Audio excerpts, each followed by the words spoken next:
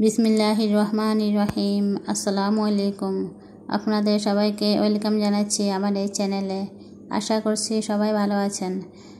আমি আলহামদুলিল্লাহ ভালো আছি।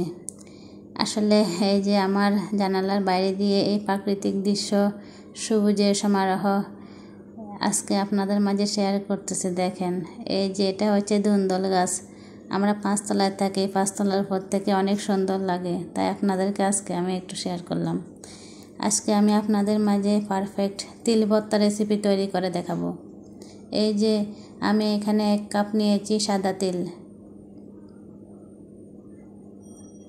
এই তিল আপনারা যে কোনো মুদি দোকানে পেয়ে থাকবেন। যে কোনো সুপার শপে এই তিল পাওয়া যায়, আপনারা বললে দিয়ে দিবে। তিল সাদা হয়ে থাকে, আবার কালো হয়ে থাকে। আমি আজকে আপনাদেরকে সাদা তিল দিয়ে এই ভর্তা তৈরি করে দেখাবো।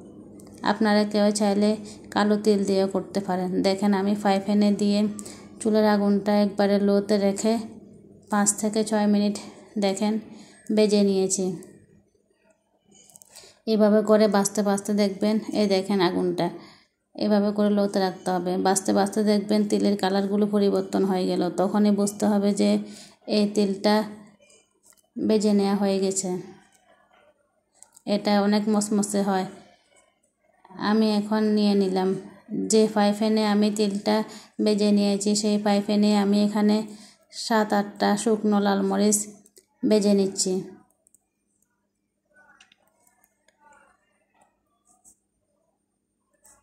মরিচগুলো বেজে নেওয়া হয়ে গেল।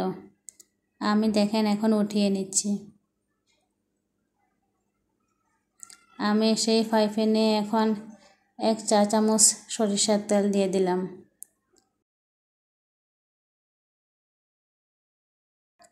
পাঁচ, ছয়টা কাঁচামরিচ আমি সরিষার তেলের মধ্যে দিয়ে দিলাম। তারপরে এখানে আমি দিয়ে দিয়েছি চার, পাঁচটা রসুনের কোয়া ছোটো করে কেটে। এখানে দুইটা বড় সাইজের পেঁয়াজ দিয়ে দিলাম ছোট টুকরো করে কেটে।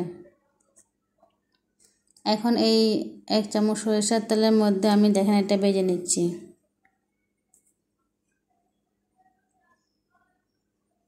এইভাবে করে দেখবেন এই যে বেজে নেওয়া হয়ে গেল।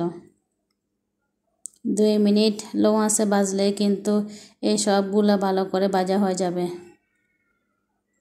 আমি এখন চুলা থেকে নামিয়ে ফেললাম। দেখেন এই যে আমি যে তেলগুলো বেজে নিয়েছি সেগুলো এখন পুরোপুরি ঠান্ডা হয়ে গেল। দেখেন, এটা আমি ব্লেন্ডারে পাউডার করে নিয়েছি।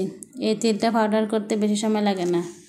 এক থেকে দুই মিনিটের মধ্যে আমার দেখেন সবগুলো তেল ব্লেন্ডার করা হয়ে গেল। এখন আমি এখানে যে পেঁয়াজ, মরিচ বেজে নিয়েছি, এগুলা দেখেন এখন ব্লেন্ডার করে নিচ্ছি। এখানে আমি স্বাদ মতো লবণ দিয়ে দিলাম। প্রথমে আমি ব্লেন্ডারে শুকনো মরিচগুলো দেখেন ব্লেন্ডার করে নিলাম। তারপরে পেঁয়াজ, কাঁচামরিচ যেগুলো করেছি সেগুলো ব্লেন্ডার করে নিলাম। আপনাদের যদি ব্লেন্ডার বড় থাকে, তাহলে আপনারা একসঙ্গে তিলগুলো সহ দিয়ে আরও একবার ব্লেন্ডার করতে পারবেন। তবে অবশ্যই আপনাদেরকে শুকনো তিলগুলো প্রথমেই গুঁড়া করে নিতে হবে। এই, এখন আমি এখানে দিয়ে দিচ্ছি এক চা চামচ সরিষার তেল। আসলে ভর্তার মধ্যে সরিষার তেল লাগবে, তাই না? এখানে আমি এক চা চামচ সরিষার তেল দিয়ে ভালো করে এখন সবগুলো উপকরণ একসঙ্গে মেখে নিয়েছি। এখন আমি ছোট করে বল করে নিচ্ছি। আপনারা চাইলে বল না করলে হবে। আমি দেখার সৌন্দর্যের জন্য ছোট ছোট বল করে নিচ্ছি। দেখেন, অনেক সুন্দর লাগতেছে। এই তিল ভর্তা কিন্তু পুষ্টিগুণে ভরপুর। তিলে কিন্তু প্রচুর পরিমাণে ক্যালসিয়াম থাকে। আপনাদের যাদের হাড়ের সমস্যা আছে, তারা কিন্তু এই তিল তিল খেতে পারেন। তিল যে কোনোভাবে খাওয়া যায়। আশা করছি আজকের আমার রেসিপি আপনাদের অনেক ভালো লেগেছে। সবাই অনেক ভালো থাকবেন। আল্লাহ হাফেজ। আসসালামু আলাইকুম।